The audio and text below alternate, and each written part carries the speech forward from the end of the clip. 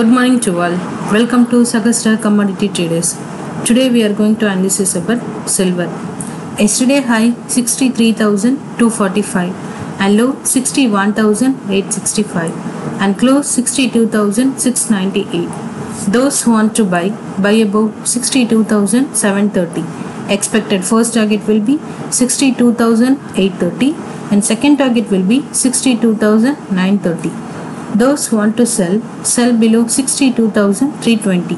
Expected first target will be 62,220 and second target will be 62,110. Next we will see the resistance and support level of silver. Resistance level 63,339 and support level 61,772. Yesterday silver sell target was achieved and profit rupees 6000. Thank you.